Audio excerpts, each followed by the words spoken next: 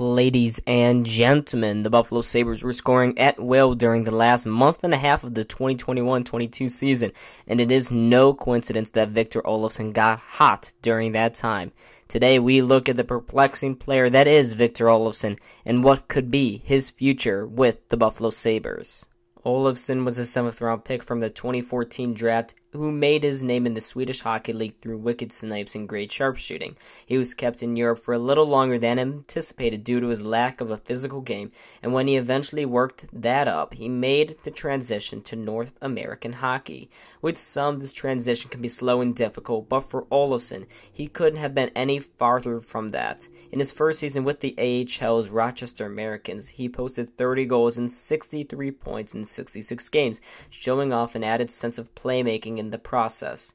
It was there that the Greater Sabres fan base caught on to his talents, and at the end of the 2018 19 season, he had a late season audition with the Sabres, getting two power play goals and four points in six games. He was able to take this late season momentum and carry it over into the next season having six goals in the month of March. However, all eight of his opening career NHL games came on the power play, and it was clear that his 5 on 5 game was below average at best. As expected, he flamed out after the Sabres power play flamed out, having four goalless droughts of five games or more. Ultimately, though, he finished the 2019 20 season with 20 goals and 42 points. He moved on then to the COVID shortened season of 2020 21. Olofsson's 5 on 5 game didn't improve, with 7 of his 13 goals that season coming with the man advantage. Then again, I don't blame him for his regression that season, as Ralph Krueger is a hack and one of the worst coaches the Sabres have ever had in their history.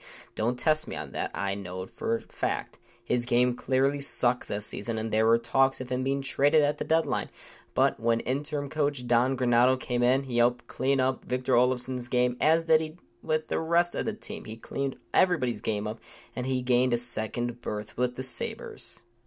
All of this backstory leads us to last season, in which he tied his career highs in goals 20, career highs in assists with 29, and career high in points with 49.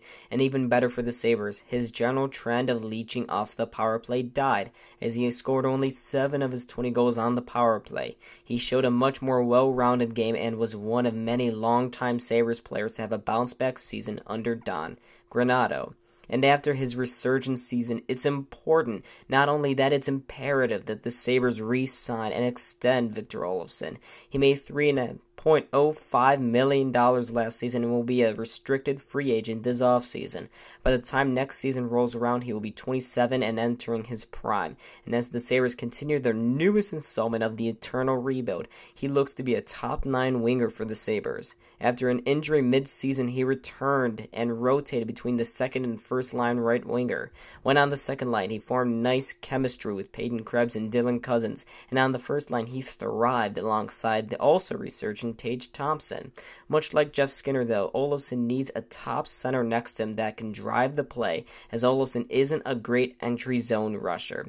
Despite this flaw, Olofsson was graded very highly by the Corsi metrics, as he was in the top half of forwards in the NHL with a 73.65 rating. For context, Buffalo's highest scorer, Tage Thompson, only had a 68 rating last season.